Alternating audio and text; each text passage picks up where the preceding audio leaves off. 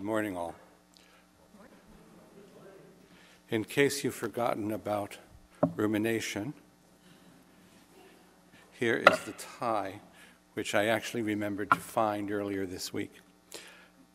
As always, I have a bunch of thoughts which may or may not be connected. It's up to you. Take those things which you find helpful, and you can sleep, sleep through the rest of them. Today is the first Sunday of Advent. We've already been warned about that. We have changed our color from green to blue and purple. We have lighted the first candle of the Advent wreath. Some of us already have Christmas decorations up in our house.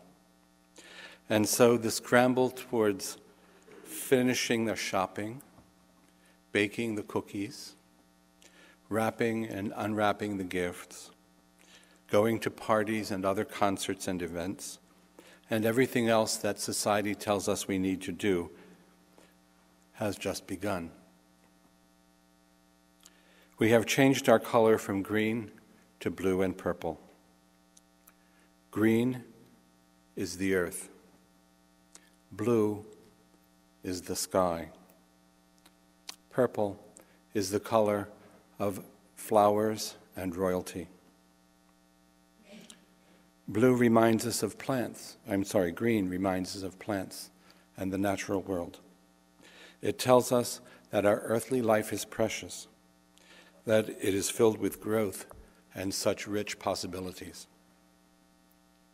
Advent blue points us towards heaven. It tells us that we need to take time to ponder not only what surrounds us every day, marvelous as that is, but to recall what we are striving for, what our final goal is. And purple reminds us that things, even if they fade, grow into something even more beautiful. About the Advent wreath and its candles, Richard Leach, an American poet, says Hope is a candle once lit by the prophets, never consumed though it burns through the years, dim in the daylight of power and privilege. When they are gone, hope will shine on. Love is a candle whose light makes a circle, where every face is the face of a friend. Widen the circle by sharing and giving. God's holy dare, love everywhere. Joy is a candle of mystery and laughter, mystery of light that is born in the dark, laughter at hearing the voice of an angel, ever so near, casting out fear. Christ is the light that the prophets awaited. Christ is the lion, the lamb, and the child. Christ is the love and the mystery and laughter. Candles make way. Christ is the day. Yes, today is the first Sunday of Advent. And surprisingly enough, today's scriptures are not talking about the coming of the baby Jesus. Instead, the text we heard call us to focus not so much on the coming feast of the birth of God into history 2,000 years ago, but rather to ponder the future return of Jesus, the so called second coming of Christ. Almost 900 years ago, St. Bernard of Clairvaux preached a sermon in which he talks about three comings of Christ in history, in mystery, and in majesty. Those three elements of faith are subtly brought to mind, if we ever bother to think about it, each time we celebrate the Eucharist.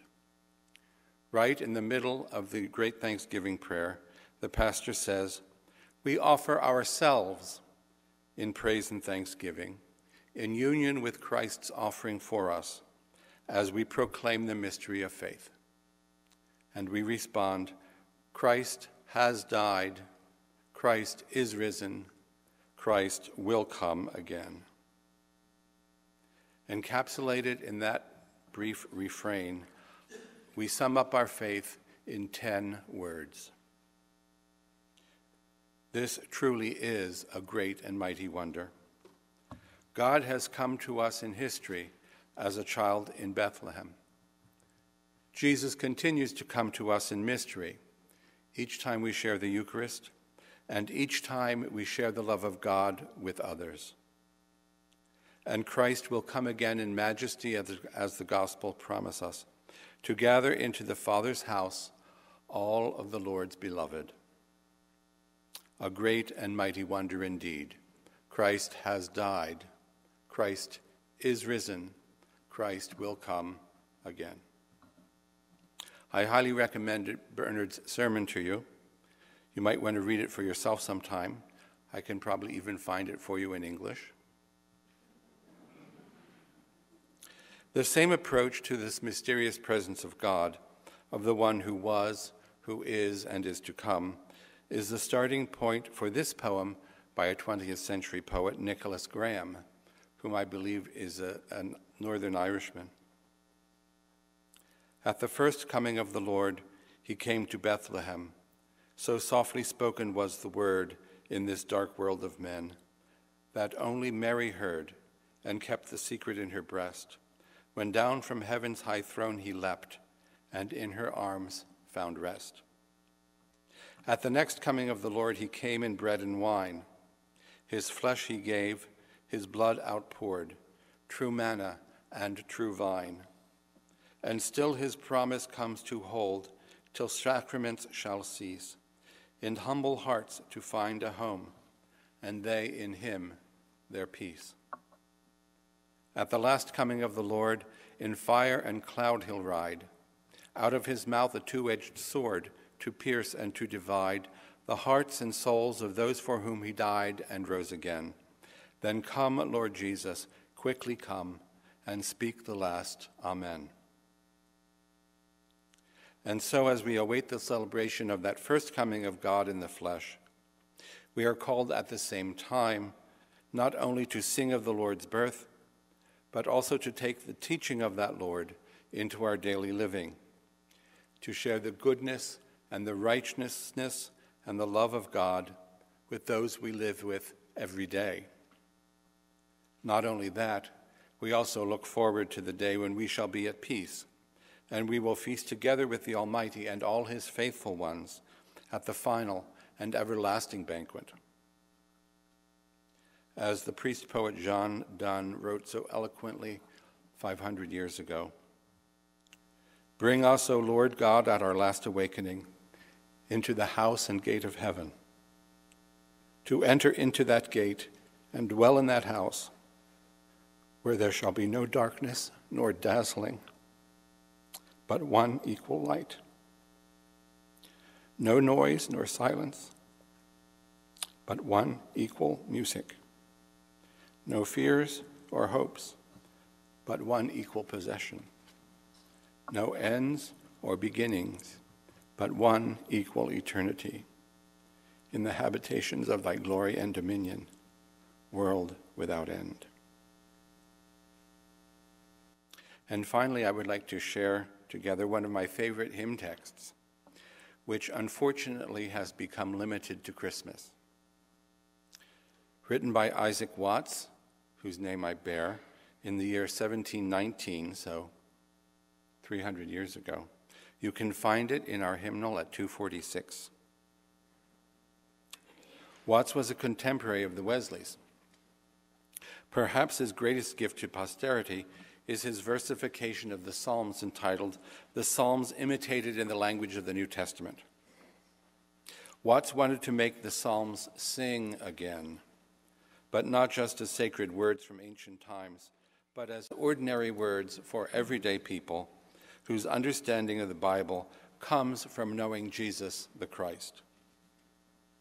As we read the text together at 246, we will read a paraphrase of Psalm 98.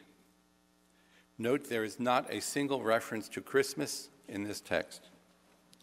And in fact, the text could be sung all year long. In some hymnals, for example, the Episcopal hymnal of 1940, it is located as a communion hymn. In the current Lutheran hymnal, it is listed as an Advent hymn. And in our hymnal, it's a Christmas carol. Watts's text also encapsulates those three comings of the Lord, as I hope you will all recognize as we read his words together. Joy to the world, the Lord has come. Let earth receive her King. Let every heart prepare him and heaven and nature sing. and heaven and nature sing, and heaven and heaven and nature sing. Joy to the world, the Savior reigns. Let all their songs employ, while fields and floods, rocks, hills, and plains repeat the sounding joy. Repeat the sounding joy. Repeat, repeat the sounding joy. No more let sins and sorrows grow, nor